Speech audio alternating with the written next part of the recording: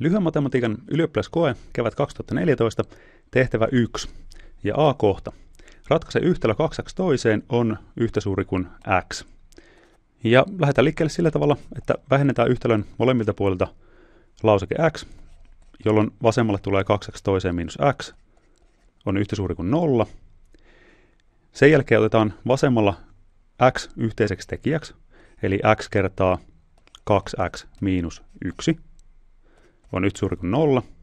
Sen jälkeen hyödynnetään tulon nollasääntöä ja saadaan, että joko x on 0 tai 2x miinus 1 on 0 ja oikealta lisätään yhtälö molemmille puolelle 1, eli 2x on 1, eli x on yhtä suuri kuin puoli, kun kakkosella jaettiin.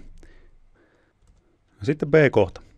Laske lausekkeen a toiseen minus b toiseen jaettuna a minus b arvo, kun a on 1 ja b on puolikas. Ja siinä on meidän lauseke kirjoitettuna, ja sijoitellaan arvot paikalleen, eli a paikalle 1, eli 1 potenssiin 2, miinus arvo puoli potenssiin 2, ja jaetaan 1 miinus puolikkaalla. 1 potenssiin 2 on 1, puoli potenssiin 2 on puoli kertaa puoli, eli 1 neljäsosa, ja se jaetaan puolikkaalla. Eli kolme neljäsosaa osoitteessa, eli yläkerrassa, ja puolikas tuolla alakerrassa, eli nimittäjässä.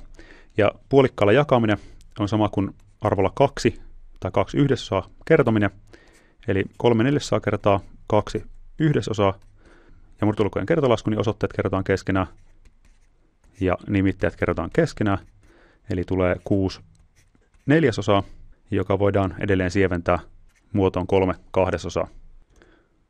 Viimeisenä sitten C-kohta, ja tehtäväantohan kuuluu, että ratkaise yhtälö x jaettuna kolmella on yhtä paljon kuin x miinus 1 jaettuna neljällä. Ja jos tehdään sillä tavalla, että kerrotaan yhtälön molemmat puolet vasemman puolen nimittäjällä ja oikean puolen nimittäjällä, niin silloin päästään molemmista nimitteistä eroon, eli yhteensä kerrotaan kolme kertaa nelosella, eli 12, ja näin ollen saadaan yhtälö 4x on yhtä paljon kuin kolme kertaa x miinus 1.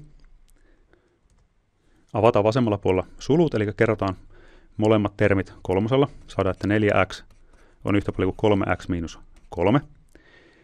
Ja vähennetään yhtälö molemmilta puolilta 3x.